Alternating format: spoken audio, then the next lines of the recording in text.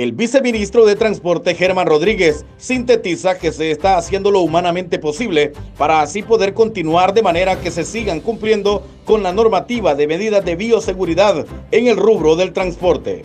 Hemos venido hoy al departamento de Lloro por, instrucciones precisas del presidente de la República. Y dentro de toda la inspección que venimos a hacer es a recoger una serie de inquietudes para mejorar los procesos que actualmente son para atender el COVID-19 y luego mirar una serie de eh, elementos basados en infraestructura para mejorarla. Eh, en esencia eso es lo que hemos venido a hacer hoy aquí a la cabecera departamental, Olanchito, y estamos pues siempre disponibles para, para mejorar todo Todos los sectores eh, en los departamentos en Honduras ha tenido una reapertura en cuanto al sector transporte.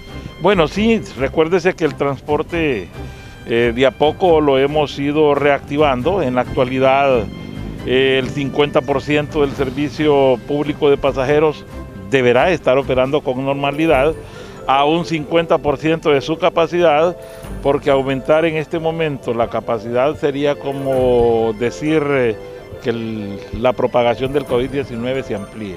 Entonces todo se ha hecho mediante procesos especiales que van desde la certificación de los conductores y también las unidades para que todas ellas, tanto el conductor como la unidad, cumplan las medidas de bioseguridad que SINAGER ha implantado para que no siga propagándose esta enfermedad. Además, dijo que Dios mediante se logrará llegar a un feliz término o entendimiento con respecto al pago de bonos a los conductores de taxis.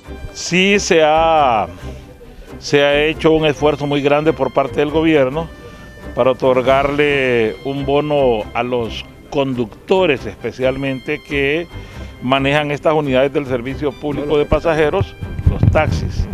Eh, en la actualidad se sigue cumpliendo con esta modalidad, evidentemente pasan por un proceso de certificación también para poder determinar quiénes se lo merecen, quiénes no se lo merecen, deberán estar debidamente en trámite sus concesiones, deberán estar actualizadas al menos para que la unidad que, es conducida por determinado conductor pues sea tomada en cuenta para que éste reciba ese bono. Final y brevemente, eh, los VIP necesitan también una oportunidad, ¿cuál, eh, cuál es la respuesta? O cuál es bueno, recuérdese que el taxi VIP no entra en esta clasificación porque ellos prestan realmente un servicio privado a los pasajeros y en este caso solo se está ayudándole a la modalidad pública, a los que ya están registrados en el Instituto Hondureño de Transporte Terrestre. Renan Vázquez en la exposición de imágenes. Yo soy Carlos Javier Espinosa, con ustedes al Estudio Central.